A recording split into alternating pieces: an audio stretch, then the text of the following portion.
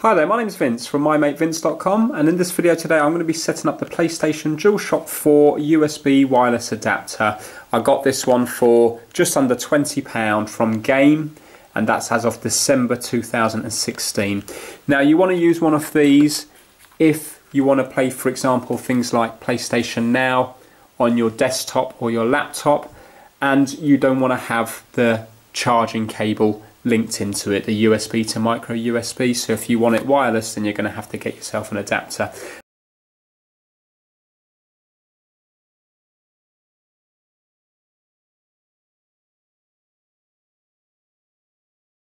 Now, unfortunately, Bluetooth does not work when you're using something like PlayStation Now or also the remote play as well. They're kind of forcing you to get yourself one of these if you want to do it wirelessly. So let's have a look, see what's in the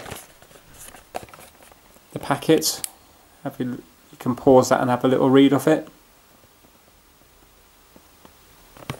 Okay, there are different languages.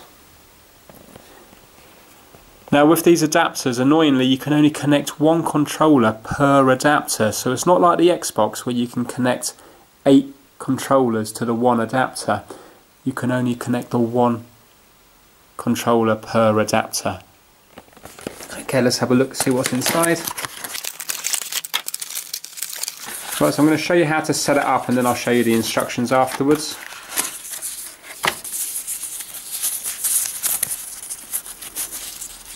Right, this is it here.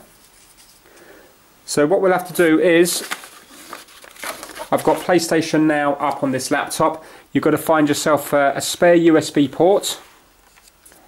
Plug it in. It doesn't matter if it's a USB 2 or a USB 3 port. And if you have a look, you will see that that is blue light is pulsing. So it's going on, then off, then on,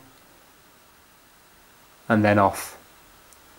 So what we're going to have to do is we're going to have to put it into pairing mode. Now to put it into pairing mode, what you have to do is you have to actually push the adapter in towards the USB port for about three seconds and then you will see that the blue light will change. So if I go one two three now can you see it's flashing twice. So now that's looking for a controller to pair to and we have to put our controller into pairing mode as well. Now the easiest way to do this is to you hit the share button and hold it down, then hit the PlayStation button because sometimes when you try to do them both at the same time, you end up pressing this one first. So just press and hold the share button, then the PlayStation button, and if you have a look at the top, that's now gone into pairing mode, and straight away it's paired up, so they've both gone to blue.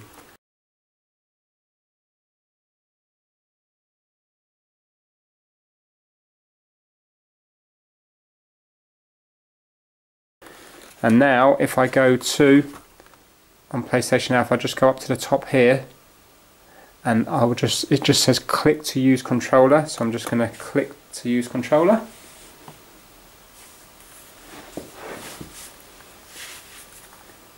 And now I'm in controller mode so I can move around the place. When you're playing the actual games you can then use the the analog sticks. So that's it. That's how you connect it up. Let me just show you the instructions so you can have a little look through says here using the wireless adapter for the first time and it basically just explains what you need to do.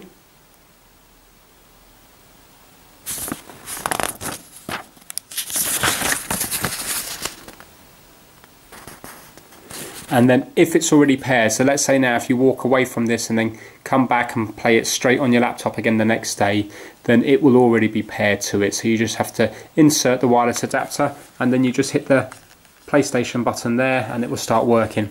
Now when you go to use your controller again back on your PlayStation 4 you will have to resync it back to your PlayStation 4 again because remember this is now synced to this little wireless adapter down here. So just get yourself the charging cable or any USB to micro USB cable plug it into your console plug it into the controller and then it will resync back to the console again.